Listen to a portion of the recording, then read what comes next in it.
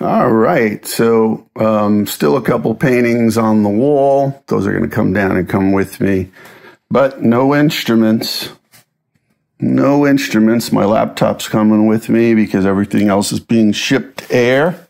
So I got my laptop and my little RME interface, but that's it. Got the monitor, got this computer, but this whole desk that uh, that keyboard underneath that uh, towel's being packed today, and that's going uh, sea. That's going slow boat. All the instruments and the other stuff is going air. This is getting boxed up. I found the box for the SY1000. The monitors are coming because they can work at 240 volt. Uh, the printer actually can work at uh, 230, 240 volt. That's cool little odds and ends, tchotchkes, nothing big deal. Actually, these are for uh, hard drives. These uh, hard drives are going in these uh, protective cases. Um, my New York Yankees table, sadly, I'm just gonna have to give it away. And the uh, CDs, vinyl, um, turntable number one and receiver number one and speakers number two, same speakers. They're going, um, I think they're going sea. Yeah, the turntable stuff, I already have a turntable in London. So, yeah, but the speakers are going air.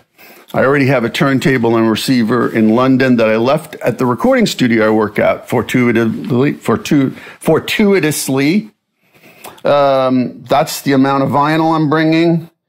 The bottom shelf, those books are coming because I haven't read all of them. Although I think I've read all of these, but I haven't read these or vice versa.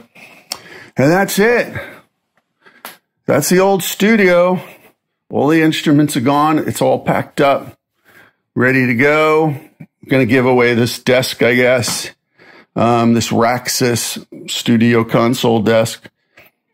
Don't know what else to do. Um, and yeah, so Monday, today is Saturday. So in two days, the um, Slowboat sea container gets here outside this window and we will fill that up. And then a few days later, professional movers come and get all the air stuff because the air stuff, you know, that's got to be cataloged. I should do a story on this, by the way. Like you need a tour, a TOR, um, proof of residency thing before they will ship your stuff anywhere. So we had to get that from the British government.